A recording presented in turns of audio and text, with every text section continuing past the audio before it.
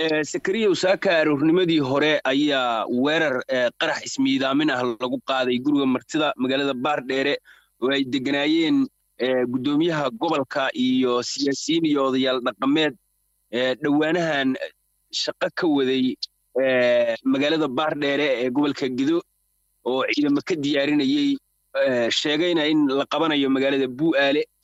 Goob ay ku sugnaayeen ayaa gaari ismiidaamin ah la geliyey. Sidoo kale waxaa lagu garaacay hoobiye magaaladana anteenada waa laga jaray oo faahfaahin dheeri ah maaragtay lama helin.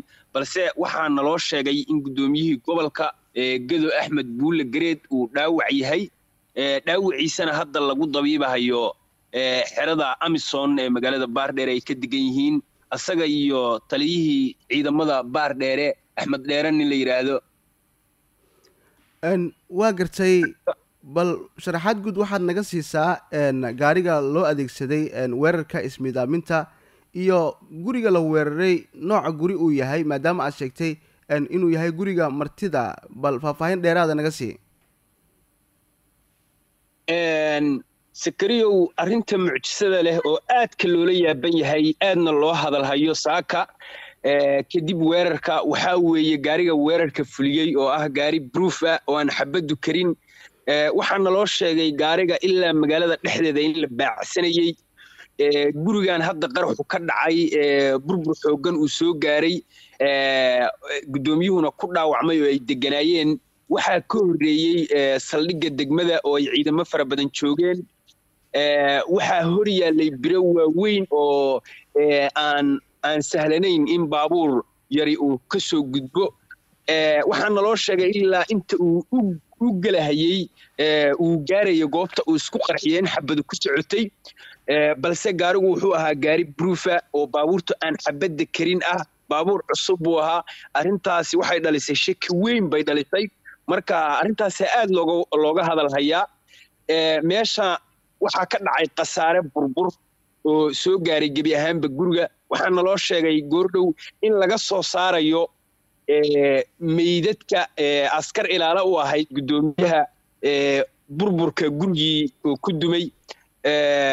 Marka khasaare xoog leh waa jiraa oo mid dhimasho iyo mid dhaawac balse ragga mas'uuliyiinta ugu waaweyn ayaa naloo xaqiijiyey dhaawacooda. Dhimashona waa jiraa inkastoo uu badan yahay staafkii maaragtay ilaalada ka ahaa guriga meeshu aad bay u adkayd meel in la galo ay sahlan tahay ma ahayn. Balse horay looma arag nuuca baabuur ee qaraxan loo adeegsaday waana midka shaki badan dhaliyey hadalhayn badanna ka dhaliyey gobolka.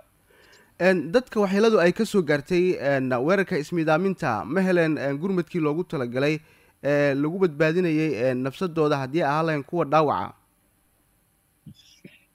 Sakariyow gurmad badan ma jiro oo magaaladu ma leh isbitaallo aad agabyadii kala duwan ay ugu dhammaystiran yihiin. Dhinaca caafimaadka magaaladu aad bay uga hooseysaa balse mas'uuliyiintii ku jiray guddoomiyaha gobolka waxaa loo qaaday dhinaca amison halkaas ayaa lagula tacaalayaa balse waxaa la filayaa in si deg dega dhinaca muqdisho loogu qaado oo maaragtay diyaarado baa la sugahayaa lagu qaadi doono guddoomiyaha balse meel lagu daweyn karo oo maanta caafimaadkooda dabooli kadha kuma taal magaalada. Haddana waxaa lagula tacaalaya oo lagu hayaa xerada amison halka la weeraray waxaad noo sheegtay in ay ku sugan yihiin ama ay ku sugnaayeen xilliga la weerarayay mas'uuliyiin ka tirsan maamulka gobolka gedo ma jiraan dad shacab ah oo goobta ka agdhowaa oo dhibaato ay ka soo gaartay weerarkii ismidaaminta ahaa? Waxaa jira dad hoobiyaha hoobiyo waxaa jiray la ridayey oo jahala-aan ah. Hoobiyahaas waxaa jira qoysas uu ku habsaday oo waxyeella ay ka soo gaadhay oo agagaarka goobta uu qaraxu ka dhacay degan baa jira.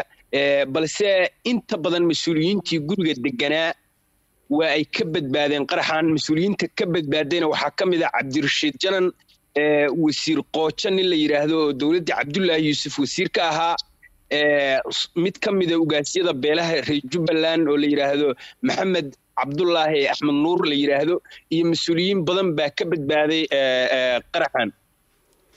Howlaha mas'uuliyiintan ay isku biirsadeen oo ay u joogeen magaalada baardheere maxay ahaayeen? Mas'uuliyiintu waxay u badnaayeen mas'uuliyiin mucaarad ku ah maamulka haatan ka jira ee jubbaland waxaana goobta laga waday diyaarinta ciidamo la doonayo inay gacanta ku dhigaan jubbaland magaalada la yidhaahdo bu'aale iyo deegaanada ay shabaabku kaga sugan yihiin gobollada jubbooyinka iyo gado howlo caynkaasaa meesha ka socday oo ay wadeen. Arrintanna waxaa gundhig u ahaa oo hoggaan u ahaa senator fartaag balse asaga waxaa naloo sheegay inuu maalmo ka hor muqdisho u safray waa gartay xaaladda halkii qaraxa uu ka dhacay ama weerarka ismidaaminta uu ka dhacay iyo guud ahaan magaalada baardheer waa sidee? Xaaladda magaalada baardheere way kacsan tahay. Sidoo kale anteenada isgaarsiinta oo dhani way jaran tahay.